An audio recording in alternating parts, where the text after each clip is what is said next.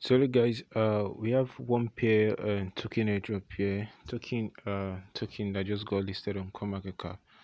So I'm gonna be going over uh this uh, token so you can see uh the analysis on this particular uh token guys. I think we're having some network issues. So I'm gonna try again. So one pair uh got listed on CoinMarketCap this October October 11th precisely. That's about two days back. So we're going to see the uh, uh, details on this particular token. So for this token and it's not on the watch list of anybody any user but the market data is untracked market data is untracked uh, for this token. So the price is not available but it's on the ethereum smart chain contract. So uh, this is the links to the official website ichi.org app.ichi.org then um, Etherscan, peer links and more guys. So this is self-reported tags defi stablecoin so one peer price live data.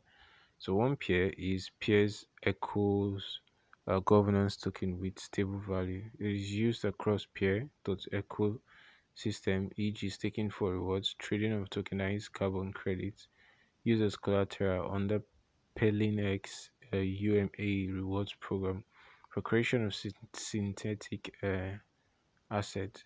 So we have self-reported tags for this token to be DeFi stablecoins. So guys, I'll be dropping a link here, or you can go over to CoinMarketCap and search on one peer and search a uh, navigation button search area to know more on this token. But meanwhile, he said peer.echo, the planetary ecosystem registration ledger. I think that's the full meaning of peer.echo of peer.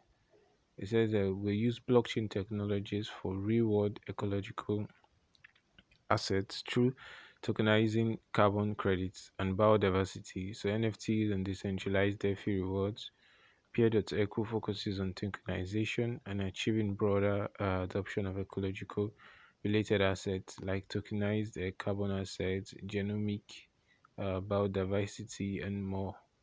To peer allows token holders to play a critical role in determining the incentive system, building a wide base of stakeholders, and facilitating economic value flow in the network. So peer holders get a vote on this um, fee model. So guys these are the basic updates on this token.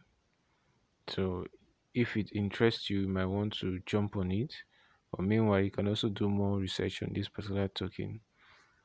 So guys uh you can check other coins that have been listed. I'll be dropping a link to uh one love seeing our next upload.